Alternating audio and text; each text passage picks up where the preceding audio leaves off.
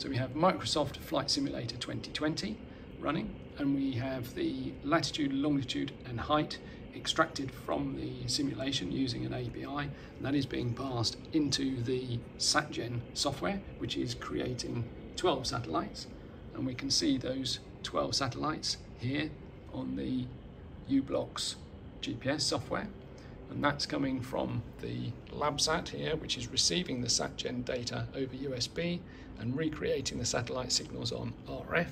That is going to a splitter, one side going into the u-blox, which is the software you see there, and the other side is going into a VBOX, which has a u-blox inside, but this is Bluetooth paired to the iPad, so we can see the position there live on the iPad.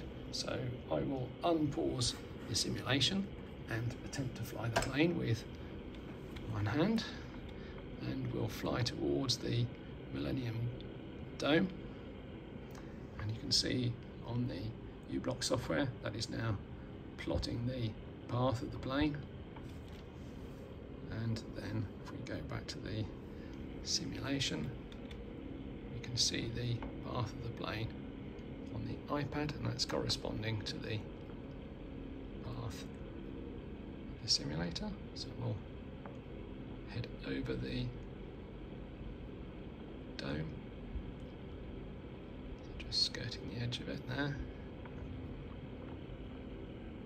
You can see that plot on the u-blox. So I'll now do a sharp turn and fly back over the dome. See the path on the iPad and also on the GPS u-blox software. So heading back towards the dome. Level level up, and attempt to fly over the centre.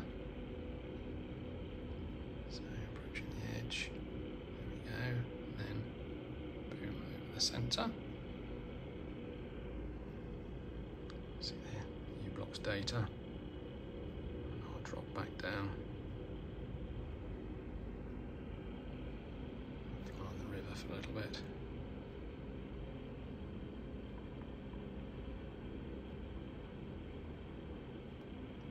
See the path being followed on the iPad.